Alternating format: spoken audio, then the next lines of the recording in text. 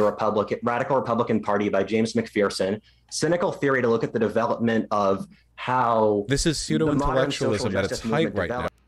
See, and he calls he even calls it pseudo intellectualism. Well, it's funny. You know, Citing he's- he's- sources is pseudo intellectualism. He cited uh, cynical theories. James which, Lindsay, yeah. Which is a good thing. Vaush didn't know who that was because he would have. The whole debate would have been like, "You just cited James Lindsay. You're an idiot." That would have been the entire conversation if he had noticed that. He didn't. Yeah. Good thing he's not paying attention. Why not address the what I've said? movement in between, I'll I'll quote the rise and fall of communism. If you've read so Between much, then each why of not? Those are three different ideological trajectories. Why not ca- It's like counter the? This is okay. I think this is 100% Vaush being a dishonest actor, being a weaselly liar. Okay. Because he's trying to give the argument. He's what if is trying to say, not only did he say what he's drawing upon, but he's trying to lay out the argument. And Vaush keeps interrupting him by saying, Why don't you counter the argument? Why don't you counter the argument? He's what he's literally trying to do while you're talking over him. And I think he's doing this in order to try to prevent people from literally hearing what he's saying so that he can kind of trigger what if so that what if gets off on the subject and talks about something else. That's my right. theory. Yeah, because he's the- about to destroy him. battle. Yeah. Right. He sees what if coming in with the B 52 bomber loaded, ready to drop, and he's like, oh shit. Right. Yeah, because if like try to listen to what what if is saying, you know, underneath Vaush interrupting him. Cry of Freedom to talk about the policies of the Republican Radical Republican Party by James McPherson. Cynical theory to look at the development of how This is pseudo. the So the a book on the the history of the Republican Party, cynical theories to a, a book on the history of the Marxist uh, Foucault postmodernists uh, thinkers. intellectualism social at its height movement right now. Why not address the what I've said? movement in between, I'll I'll quote the rise and fall of communism. If The rise and fall of communism for the Marxists. you've read so much, then why not? those are three different ideological trajectories. Why not ca- It's like counter the saying that- argument then? Okay, so he's saying these are three different ideological. Uh, they're they're all three on very different ideological trajectories. That's part of his argument. Because Confucius, Confucian philosophy influenced in the Enlightenment Europe, that that America as a devi- sorry, that Europe is a deviation of Chinese philosophy. It's creating a single logical line and then Okay, extrapolating. an we're literally talking from it. about the same goals in the same country. You have the abolitionists who fought for racial equality for black people. It doesn't Vaush. Why was Vaush such a fucking idiot? It, it doesn't matter if they have the same goals. It does not matter. It's completely irrelevant to being influenced by one another, to sharing the same philosophy. They could have the same goals and have a different philosophy about how to achieve it. Right. Yeah. I mean, like if the goal is, I don't know, what, what, I mean, if the goal is to implement co ops, okay, and you have one group of people wants to do this by being huggy buggy, hippy dippy leftist, and the other group wants to be Richard Spencer and says, Yes. well, our co ops are for white people only, and we need to have some authoritarian government mandate all this stuff. I mean, they're both in favor of creating, you know, yeah, they both have the same corporate goal. co-ops, but uh, is it the same thing? I mean, this is really Right. Vaush and Richard Spencer are both in favor of universal health care. Does that mean that they're the same ideological of the same ideological persuasion?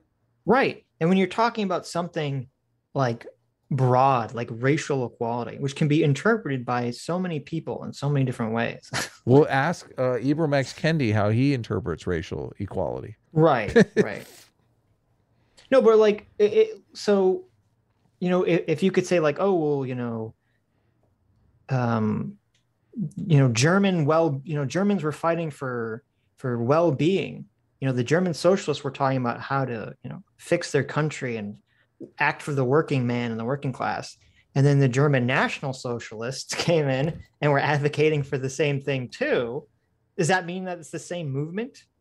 Yeah. Does that mean that so- one leads to the other? Like it's just a very dumb argument. This is so dumb. Yeah. But- and he so also- dumb. and it's like he keeps prevent because he, as what if said, these were operating under different ideologies. Right. Yes. And the ideology is important. Right. And I think part maybe part of the problem with the conversation is I don't think what if ever gets a chance or he lets him he lets himself or he lets Vaush kind of take him off track from just saying these are the different ideologies. Yeah. That's why they're different. Yeah. It becomes them talking over one another, which totally sucks. Yeah. To the civil rights movement, which fought for racial equality for black people, to the modern BLM movement, which fights for racial equality for black people, and every single successive group quotes and heavily cites the, the preceding groups. This isn't like some, well, a butterfly flag. See, it's so bizarre too because he is making the thing that the argument that we've always accused him of that people believe CRT is just an extension of the civil rights movement, and it is Right. not. It is not remotely an extension of the civil By their own movement. accounting. Right. Yes. They they they have to change it because it's so obvious that there have been huge gains in racial equality. you have to basically construct this conspiracy theorist uh, theory to uh, to assess the world in the way the critical race theories theorists uh, assess it. Yeah. It's I mean- ridiculous. The page I always pull, page two, the introduction of CRT. Yeah. key ranks that form the movement. The aspect of our work which most markedly distinguishes it from conventional liberal and conservative legal scholarship about race and inequality is a deep dissatisfaction with traditional civil rights discourse. Yeah. See, that completely obliterates Vaush's argument there. It's so stupid. They're basically separating themselves ideologically. They're saying, listen, no, Vaush, you've got it wrong. We aren't an extension of civil rights. We're a break with civil rights. We're we our central premise is that civil rights failed. right. Yeah. Well, they so the thing with CRT and the CRT people is that they they change their mask according to who they're talking to. right. Yeah. So when totally. Kimberlé Crenshaw's talking to Joy Reid, she's gonna be like, "Oh, of course, it's a continuation of the civil rights movement." Yeah, and then Yeah. once you know she's writing an academic paper to her radicals, it's like mask off. You know, this is very different. that and was a very but- good folksy impersonation. Thank you. But this is this is part of the uh, Vaush's aggressive stupidity tactic because he gave one example, one vague example. Okay, he says Martin Luther King Jr. cited Frederick Douglass, which first of all, he'd have to be more specific than that. We're just assuming that he did, which is probably a fair assumption. But secondly, that doesn't prove Vaush's point at all. Yes. And yet, because he brought that out, now he's going to say, oh, all these people from all these movements are constantly citing people from the previous movements. Therefore, it's the same. And he, and he says all of this, he says this grand thing based off this one tiny example that doesn't even prove Vaush's argument. and he doesn't even really give the example of. no, he doesn't even give the specific example of it. Right. Yeah. Sophistry. Yes. Peak flapped its wings in China, therefore that butterfly is responsible for the American Revolutionary War bullshit. This is a very direct line. And for you to respond to that with like a how many books have you read suggests to me a kind of I don't know insecurity in your ability to refute that fact. Why don't why don't you believe these are part of the same movement? They're clearly fighting for the because he's read three books that lay out arguments to the contrary. He's Well, pretty, it- like, why are you even asking this question? it's but it's so dishonest. He's like the fact that the fact that you cite books shows that you're insecure with your level of knowledge. Yeah. this is why it's, this sophistry just fucking bugs the shit out of me. It's like, it is, it is, you know, chronic stupidity just on display. Uh, They're proud of their stupidity. Adam, how dare you have to read books for knowledge? Okay, you should be big brain enough that simply by wandering through existence, you're just through like sheer force of will, through osmosis, your brain just absorbs all the prerequisite knowledge to make statements about anything just by existing. That's what real big brained intellectuals do. They don't read books. That's for pussies. It's so, it's so, it's so bad. It's it's terrible. and I- we'll also, you know, talk about insecurities. Va- He's trying to lay out his argument, and Vaush is interrupting him. Vaush Yes. is the one who's acting 100% insecure in this moment. yeah, displaying his insecurity here.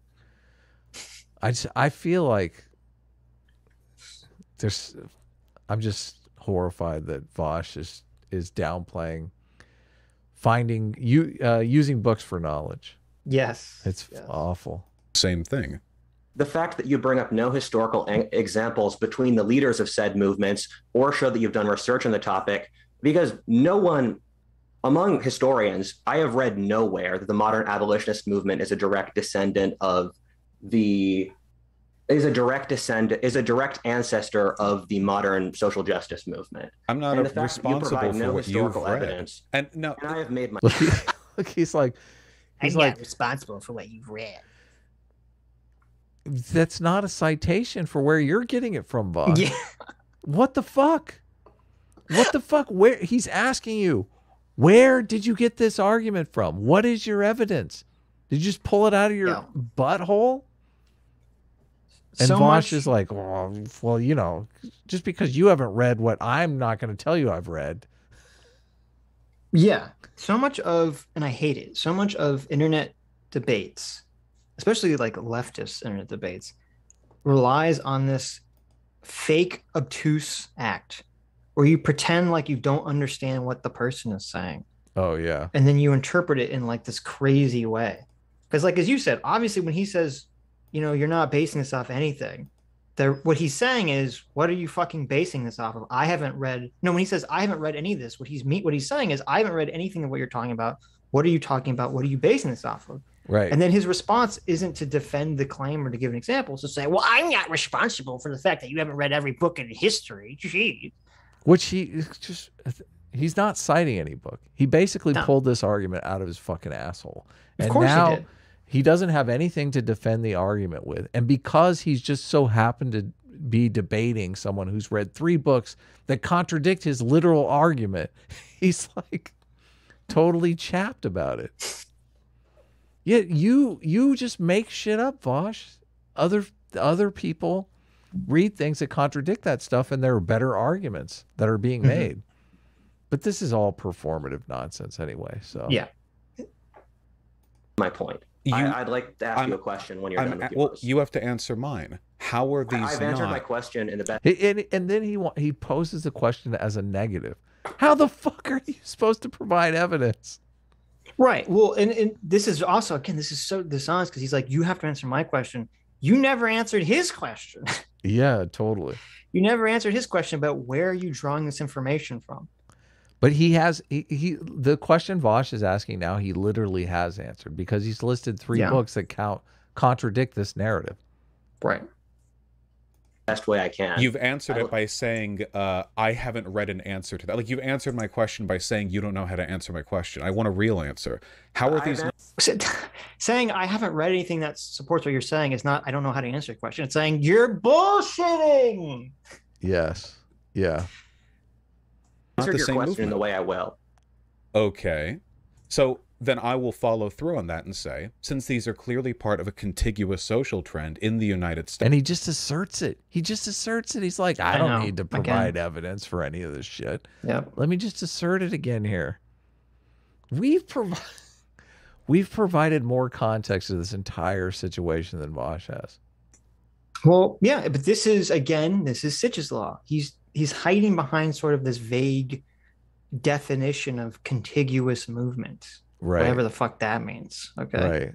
Well, and he's arguing for something that CRT people don't even argue for, which is just bonkers. Right.